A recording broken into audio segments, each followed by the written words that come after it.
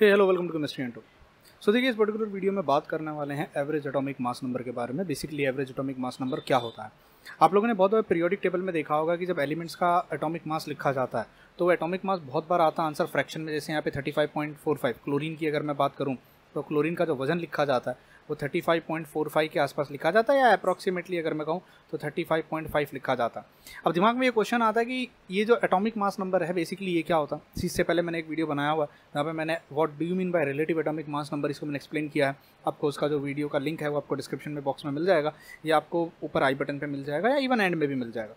ना हम लोगों ने पढ़ा था कि रिलेटिव एटॉमिक मास नंबर क्या होता है कि हम लोग कार्बन को कार्बन ट्वेल्व जो हमारा एटम है उसको लेते हैं। हमने उसका वज़न देखा था that was coming out to be 19.92 के आसपास into ten to the power minus twenty four अब हमें पता है कार्बन ट्वेल्व जो होता है, हमारा कार्बन ट्वेल्व उसके अंदर छः प्रोटॉन होते हैं और उसके अंदर छः न्यूट्रॉन होते हैं। तो हमने कहा कि भैया इसके अंदर बारह पार्टिकल्स होते हैं जिनका एक्चुअल मास होता है और छः इलेक्ट्रॉन भी होते हैं। मैंने लास्ट वीडियो में इसको बहुत अच्छे से एक्सप्लेन किया था रिलेटिव एटॉमिक मास नंबर वाले वीडियो में, आप उसको जरा एक बार ध्यान से देख लीजिएगा। तो हमने कहा था कि भाई देखिए इसके अंदर बारह पार्टिकल होते हैं, पर इलेक्ट्रॉन का मास तो नेग्लिजिबल होता है तो हम उसको लेंगे नहीं। तो इतना जो वज़न है वो इन बारह पार्टिकल्स की वजह से है। तो हमने इसको डिवाइड कर दिया बारह से, जो इसका आंसर निकल के आया, वो आया one point six six into ten to the power minus twenty gram जिसको हमने कहना स्टार्ट कर दिया वन ए तो हम यूँ कह सकते हैं कि एक प्रोटॉन का वज़न इज़ अप्रॉक्सीमेटली इक्वल टू एक न्यूट्रॉन का वज़न and that is equal to one point six six into ten to the power minus twenty four gram जिसको हम लोग कहेंगे वन ए एम यू तो अब भाई, जिस एटम में जितने प्रोटॉन और न्यूट्रॉन उसका उतना ए एम यू वज़न होगा। इस हिसाब से अगर मैं बात करूँ क्लोरीन में तो क्लोरीन का एटॉमिक नंबर सत्रह होता है ठीक है तो इसके अंदर सत्रह प्रोटॉन होते हैं और इसके अंदर अट्ठारह न्यूट्रॉन होते हैं। तो इसका वज़न जो निकल के आना चाहिए, वो वज़न कितना निकल के आना चाहिए? इसका वज़न होना चाहिए thirty five A M U because एक प्रोटॉन और एक न्यूट्रॉन का मतलब होता है वन ए एम यू अच्छा पर ऐसा नहीं कि क्लोरीन अकेला एक ही है, जिसका वज़न thirty five A M U होना चाहिए। हमारे पास क्लोरीन का एक और आइटम है। अभी इसको ए एम यू नहीं लिखते, सिर्फ़ थर्टी फाइव लिख के यहाँ पे छोड़ देते हैं जिस रिप्रेजेंट थर्टी फाइव हमारे पास क्लोरीन का एक और एटम होता है, जिसको हम कहते हैं आइसोटोप वो भी क्लोरीन उसके अंदर इलेक्ट्रॉन अभी भी सत्रह ही होते हैं, इसके अंदर भी सत्रह प्रोटॉन होते हैं, बस इसके अंदर न्यूट्रॉन दो एक्स्ट्रा होते हैं. मतलब इसके अंदर जो न्यूट्रॉन थे, वो न्यूट्रॉन हो जाते हैं ट्वेंटी न्यूट्रॉन इसके अंदर ट्वेंटी हो जाते हैं। तो अब मुझे बताइए, इसका वज़न कितना हो जाएगा? सर, बीस और सत्रह तो थर्टी सेवन हो जाता है। तो एक प्रोटॉन और एक न्यूट्रॉन का वज़न कितना हो रहा था? वन ए एम यू तो twenty party thirty seven particles हैं तो इसका वज़न कितना होना चाहिए? Thirty seven A M U तो हम ऊपर लिखते हैं थर्टी सेवन सी देखिए, प्रोटॉन प्लस न्यूट्रॉन, ये जो नंबर होता है आपको क्या रिप्रेजेंट करता? है ये नंबर रिप्रेजेंट करता है प्रोटॉन प्लस न्यूट्रॉन। ये नंबर क्या रिप्रेजेंट करता है? Proton plus neutron. तो जितना प्रोटॉन और न्यूट्रॉन का नंबर होगा, उसका उतना ए वज़न होगा। इस हिसाब से तो क्लोरीन का वज़न 35 और 37 होना चाहिए। तो पीरियोडिक टेबल में क्लोरीन के वज़न को 35.45 क्यों लिखा गया है? इस हिसाब से तो क्लोरीन की दो जगह होनी चाहिए पीरियोडिक टेबल में। पर हमें तो पीरियोडिक टेबल में क्लोरीन अकेला एक ही दिखता है एटॉमिक नंबर सत्रह के साथ।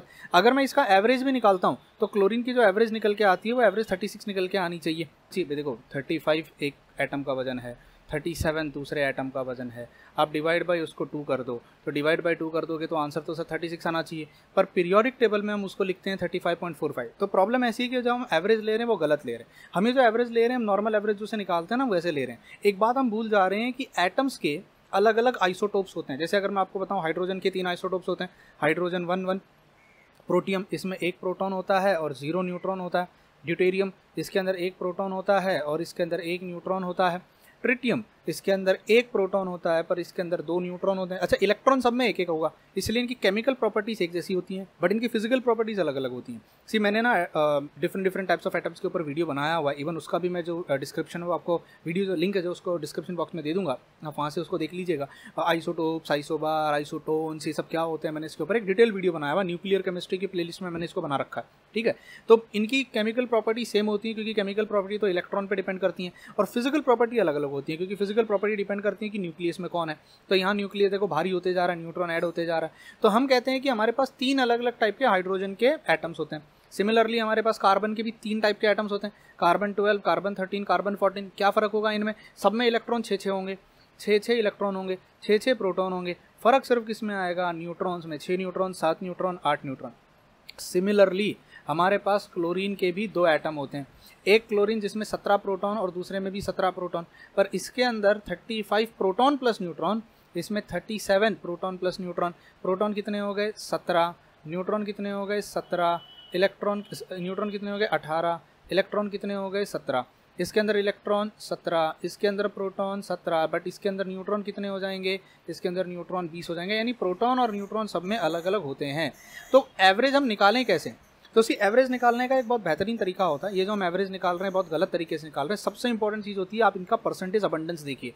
कुदरत में नेचर में जहाँ हम धरती पर प्रेजेंट हैं क्लोरीन 37 कितना परसेंट मिलता है? और क्लोरीन 35 कितना परसेंट मिलता है, ये बताइए। तो हमने हमारे पास एक स्पेक्ट्रोस्कोपी होती है, आप हायर लेवल पे पढ़ोगे, मास स्पेक्ट्रोस्कोपी जिसे कहते हैं। ठीक है, एक बहुत एडवांस लेवल की स्पेक्ट्रोस्कोपी है, मास स्पेक्ट्रोस्कोपी। स्पेक्ट्रोस्कोपी पे काफ़ी मैंने वीडियोस बनाए हुए हैं, और आने वाले टाइम में शायद मैं मास स्पेक्ट्रोस्कोपी पे भी वीडियोस बनाऊँगा। उससे हमें पता चलता है कि कुदरत में कितने टाइप के आइटम्स कितने परसेंटेज में प्रेजेंट होते हैं। हमें वहाँ से पता चला, जो थर्टी वाला क्लोरीन का आइटम होता है, वो ऑलमोस्ट सेवेंटी टाइम पाया जाता है। और जो 37 वाला क्लोरीन का एटम होता है, वो ऑलमोस्ट अप्रॉक्सीमेटली 25 परसेंट टाइम पाया जाता है।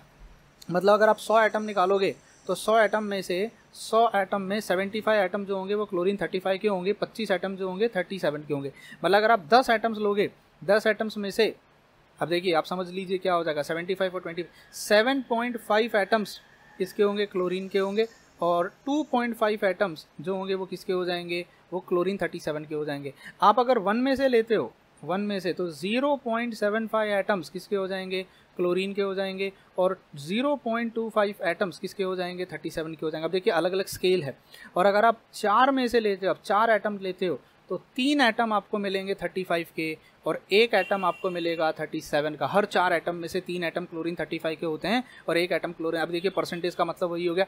75 five is to twenty five अब इसको मैं हटा दूँ तो ऐसे लिख सकता हूँ। 75 five is two twenty five is three is two one seven point five is two two point five is three is two one zero point seven five is two two again three is two one या आप उसको three is to one ले सकते हो। मतलब अलग अलग तरीका है मेरा लिखने का। अगर मैं हज़ार आइटम्स लूँगा, हज़ार आइटम्स लूँगा तो सेवन फिफ्टी आइटम्स मुझे मिलेंगे क्लोरीन के और 250 एटम्स मुझे किसके मिलेंगे? वो मुझे मिलेंगे क्लोरीन 37 के। तो अब अब इसका एवरेज कैसे निकालें? इसी हमें पता है टोटल हम 100 आइटम्स लेके चल रहे हैं। तो हमारे पास एवरेज निकालने का एक तरीका होता है that is called as average atomic mass number how do you find it out एक काम कीजिए। मुझे बताइए, आप क्लोरीन 35 ले रहे हो, इसका कितना परसेंट ले रहे हो? तो ऑलमोस्ट हम कह सकते हैं कि ये 75 परसेंट है। इसको हम अप्रॉक्सीमेटली कह सकते हैं 25 परसेंट है। ठीक है? तो आप कैसे निकालोगे? पहला आइसोटोप बताइए कौन है? सर, पहले आइसोटोप का 75 परसेंट प्रेजेंट है। कितना परसेंट प्रेजेंट है? 75 तो ये हो जाएगा आपका 75 परसेंट मल्टीप्लाइड बाय उसका मास कितना है? उसका मास है 35 प्लस।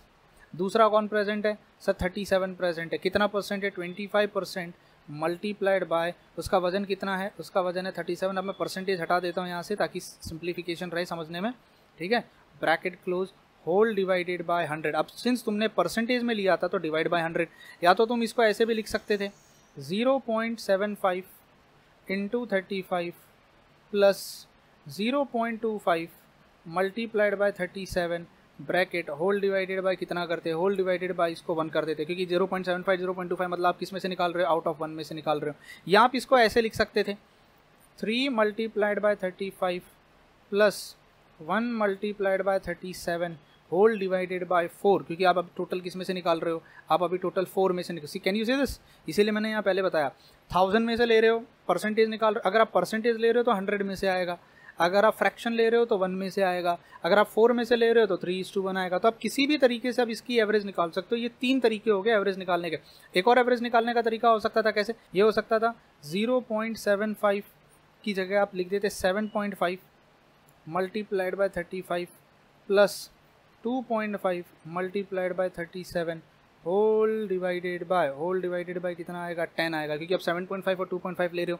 मतलब आउट ऑफ़ 10 की बात कर रहे हो। तो अगर आप परसेंटेज के टर्म्स में लिख रहे हो तो डिवाइड बाय 100 आएगा तो यहाँ 75 या 25 आएगा।